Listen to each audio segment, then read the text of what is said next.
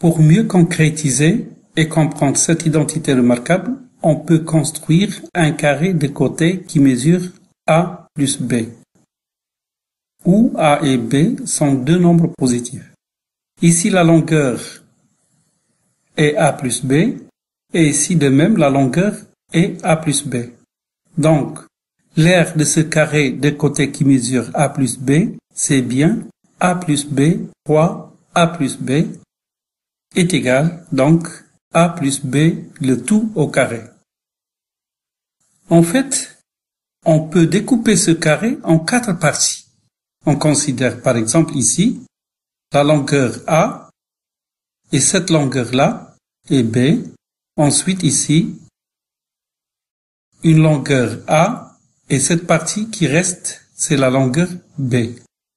Si on trace le carré du côté qui mesure A, on obtient le grand carré là et deux rectangles de longueur A et de largeur B et un petit douzième carré du côté de mesure B, alors ce carré du côté qui mesure A, son R, vaut A fois A, c'est-à-dire A au carré.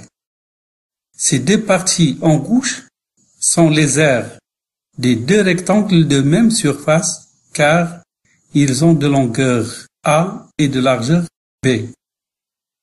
Donc cette R vaut A fois B. De même, cette R ici vaut A fois B. Ce petit carré du côté qui mesure B, son R est B fois B, c'est-à-dire B au carré. On a dit au départ que l'aire de ce carré est A plus B, le tout au carré. Alors, l'aire totale de ce carré est aussi la somme des aires de ces quatre parties cette partie-là, qui est A au carré, plus ces deux parties-là, qui ont de même R, AB, donc plus AB, plus AB, et cette dernière partie qui a pour R. Donc, on a A plus B au carré est égal à A au carré plus 2AB plus B au carré. Cette égalité est une égalité remarquable que l'on appelle identité remarquable du second degré.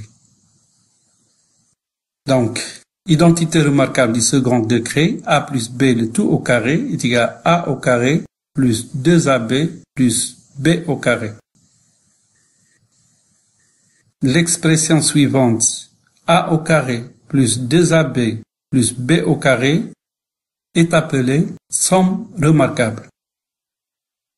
Donc, si on a une expression x au carré plus 2xy plus y au carré, on peut conclure que c'est une somme remarquable qui peut s'écrire directement sous la forme d'un carré x plus y le tout au carré. Et vice-versa, si on a le carré d'une somme x plus y au carré, on peut l'écrire directement sous la forme de la somme remarquable x au carré plus 2xy plus y au carré. En fait, si on passe de cette somme remarquable au carré de la somme de A et de B, on dit qu'on a factorisé la somme. Et si on passe du carré de la somme de A et de B à la somme remarquable, on dit qu'on a développé le produit ou le carré. En fait, a plus b au carré, c'est bien le produit a plus b fois a plus b. Pour cela qu'on dit qu'on a développé le produit.